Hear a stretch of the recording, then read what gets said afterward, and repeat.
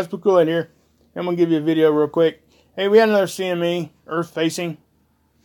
This makes three CMEs in one day, two of them earth facing. Um, Scott Cione put this video together for me. Thanks, Scott. Appreciate it, man. He sent this over to me. Um, he hasn't been feeling the greatest, so send him some prayers, guys. But anyway, here we go. Um, watch this sunspot, same sunspot that did it yesterday. You'll see it blow off again.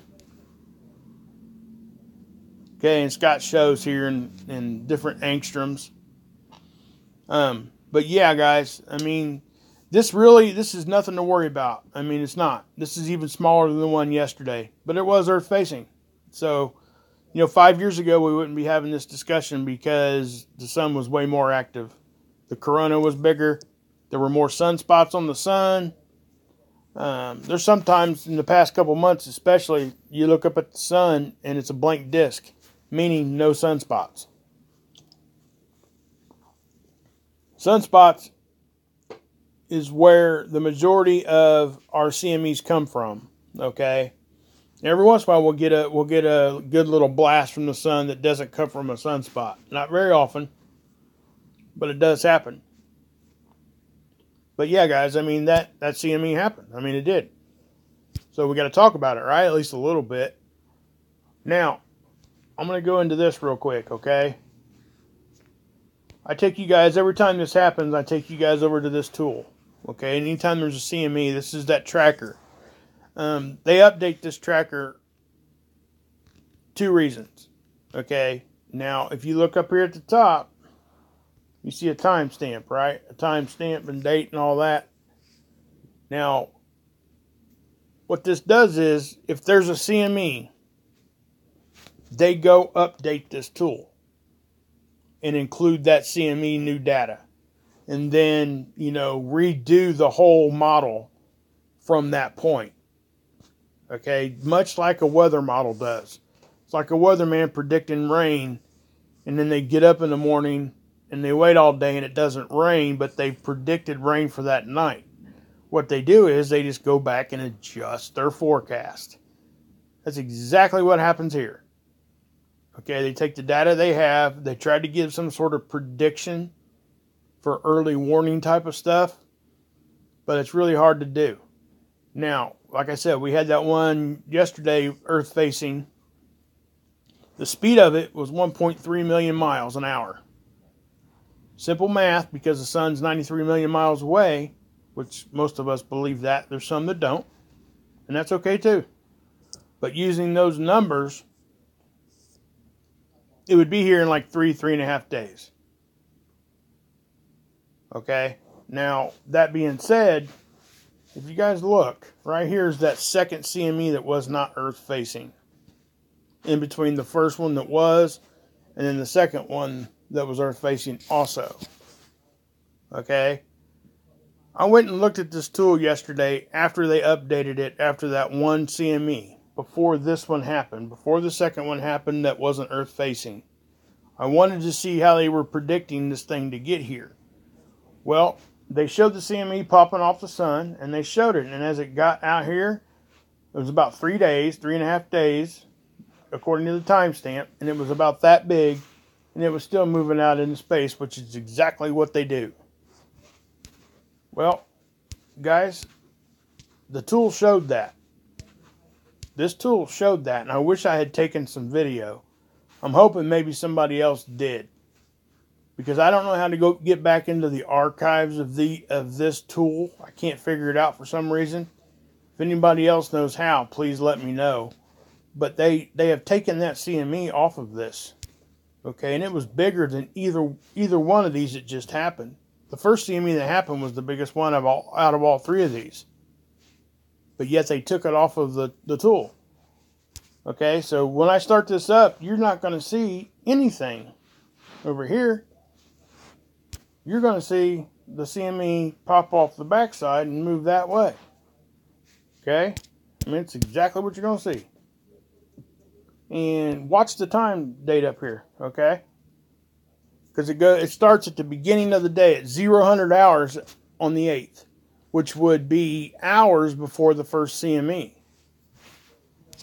So, We'll go ahead and play it and let you get, let you see it real quick. Okay.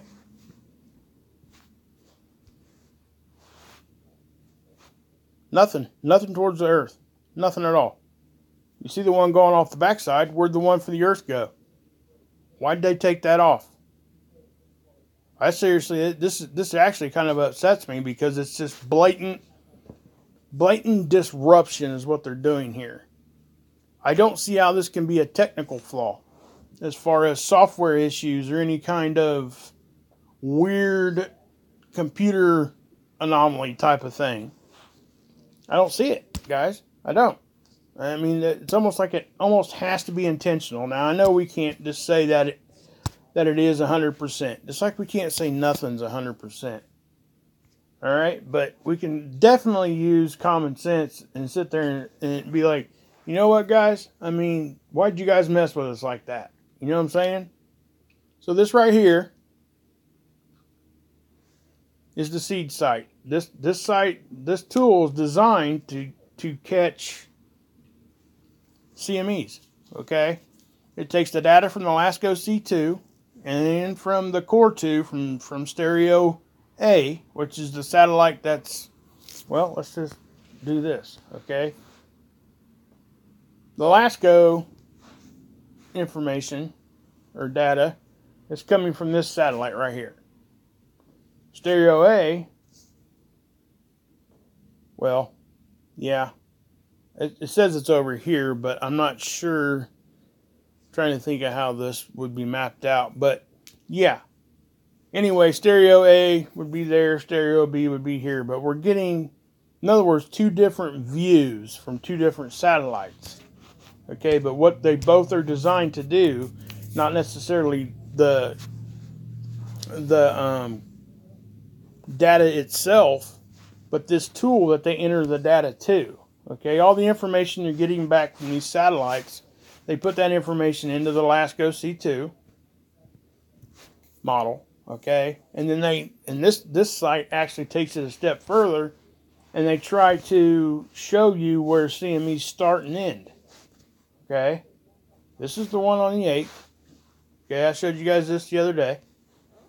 All right, we'll go ahead and uh, well, let's just that's it. Start and then stop. Okay, here, do it again. Sorry about that. Let's stop it right there. Daggone, why ain't it stopping? Okay, right there. That's the one from the other day, right? Okay. Well, I'm going to say the other day. This was just 20, a little bit more than 24 hours ago from right now. Okay. So there's that one. That's what this does.